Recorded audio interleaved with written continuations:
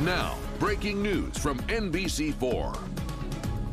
That breaking news two key decisions released in the last hour by the nation's highest court. We begin with the student loan decision, where the Supreme Court ruled that the Biden administration overstepped its authority in trying to cancel or reduce student loans for millions of Americans. That 6 3 decision effectively ends the $400 billion plan, leaving borrowers on the hook for repayments that are expected to resume later this year. The court held that the administration needs congressional endorsement before undertaking a program that's so costly.